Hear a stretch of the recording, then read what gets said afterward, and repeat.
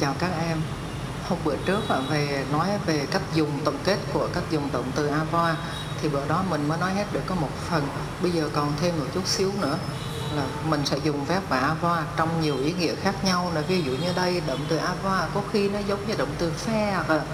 ví dụ như il lui un ở đây động từ avoir đang chia vào tăng passesem rồi đó.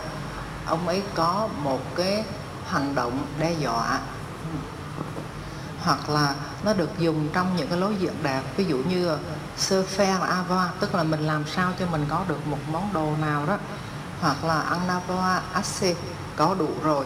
Ừ, có đủ một món đồ nào đó rồi, hoặc là có đủ một cái hành động đó rồi, tôi không muốn làm nữa đó. Ví dụ như ờ, mình có đủ món đồ đó rồi, người ta mời mấy em ăn, mấy em nói merci, j'en ai assez, thôi tôi đủ rồi.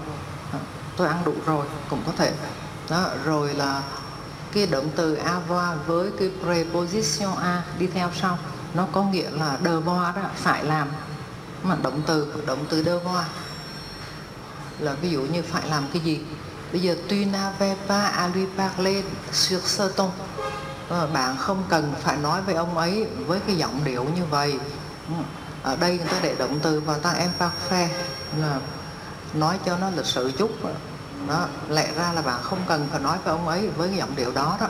Hoặc ở đây tu n'avais qu'à me à, ờ, lẽ ra là bạn phải nói với tôi thì tốt hơn. Đó thì các bạn phải nói với tôi tuy na ca y an lê toa mê mà bạn chỉ cần là đi tới đó bản thân bạn đi là được rồi. Ở đây tôi có chữ nơ cờ đó. Đây phải nơ cờ là để xác định với một cái giới hạn chỉ cần nhiêu đó thôi.